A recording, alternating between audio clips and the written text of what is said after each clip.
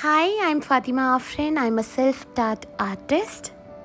I have done few exhibitions in Malaysia, both solo and group exhibitions, and also I have done few online and offline workshops. Basically, I'm a landscape artist, but whenever I feel lack of inspiration, I used to do one stroke technique. In this lesson, I'm gonna share you some of the tips and tricks to do realistic landscape. We're gonna start this course with basic color wheel, basic color theory, basic color mixing. There are a lot of things in that.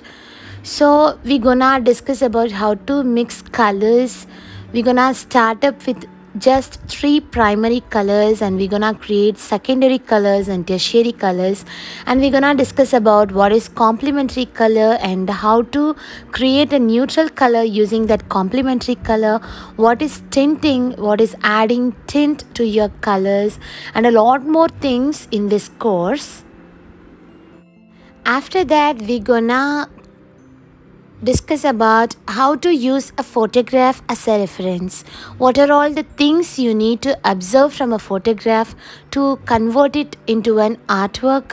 We're gonna paint this beautiful artwork using very easy dabbing technique for the clouds for the trees for uh, the mountains and rocks for everything we're gonna use the dabbing technique this is one of the most easiest technique I'm gonna explain each and everything in detail.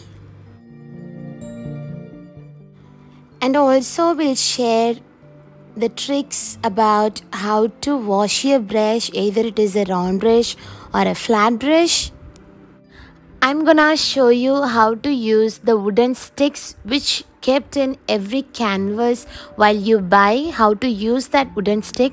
This is one of the most common doubt every beginner have and also how to block the background before adding details everything